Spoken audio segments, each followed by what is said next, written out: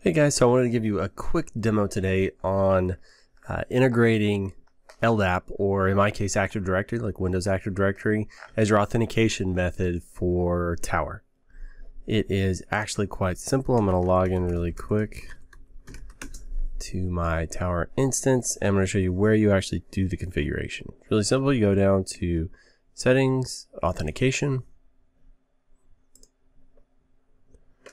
And right here, I'm going to click on LDAP. You see there's a multitude of various options but you can authenticate against, right? You also have local, so you can create local accounts, which you can use Azure, GitHub, uh, Google, Radius, TACACS, SAML. SAML is going to be something like um, single sign-on service, like Okta, where they handle the authentication, then pass back a token. But for my case, I'm just doing good old-fashioned LDAP.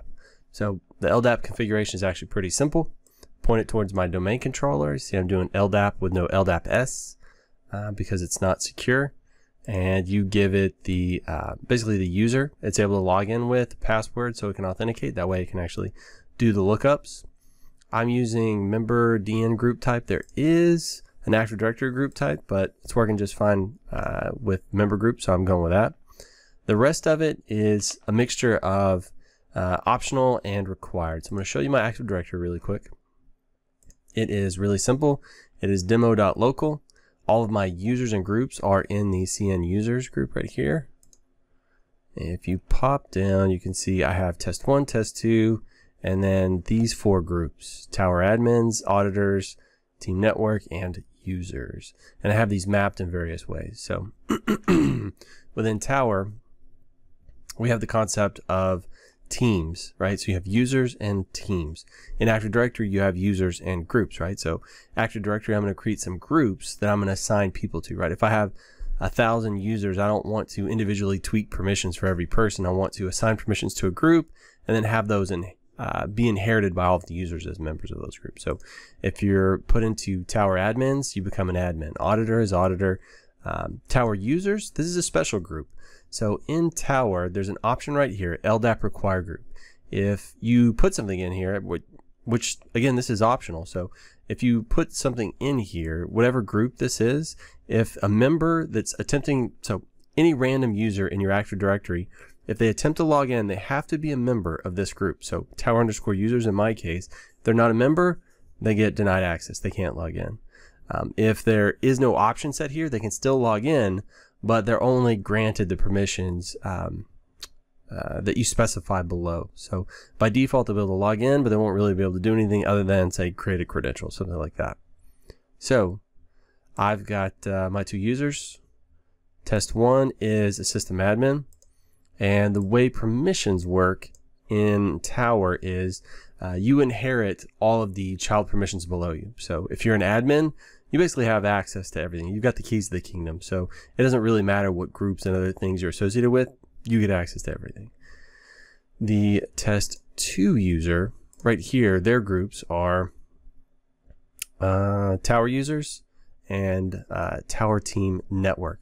So you can actually delegate or rather specify which team they're going to become a member of. So um, Active Directory groups, right? You assign permissions to those groups, they inherit it, those users, in Tower, we have the same concept. Instead of calling them groups, they're called teams.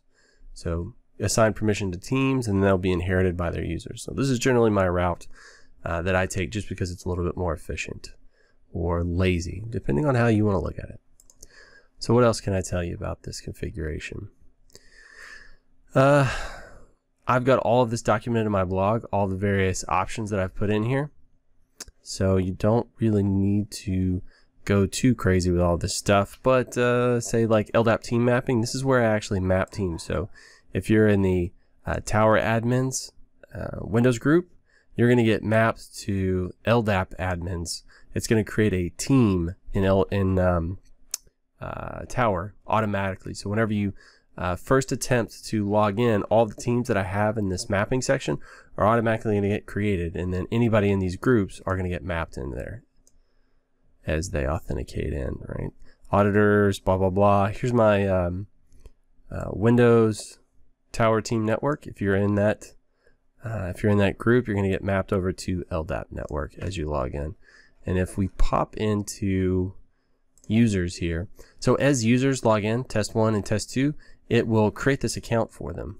Uh, when they uh, uh, first log in, it'll create their account as well as it will create the team. So if we look under LDAP network and we look at users that are in here, test two, right? This These guys are system admins, so you kind of ignore them. They don't really matter, um, right? They have the system admin tag over here on their role position, but this guy is just a member, right? So as he log in, as he logs in, he gets assigned that based on his Active Directory group. So all pretty straightforward, all pretty simple. Uh, good luck. Happy uh, authenticating. Let me know if you have any questions or comments. Thanks, guys.